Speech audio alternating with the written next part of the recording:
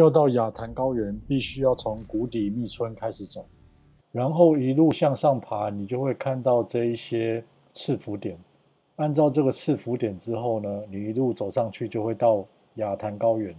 进入雅潭高原之后，要先去拿地图碎片，这样会比较好走。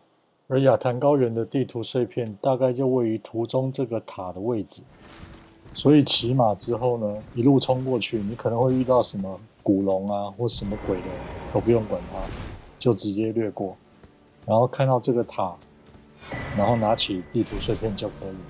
在拿到地图碎片之后，就可以去拿琥珀星光。琥珀星光呢，就位于地图碎片右边的山谷里的位置。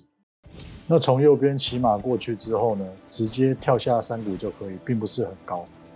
然后你就会看到在中央的地方有一个雕像的位置，就有琥珀星光可以拿。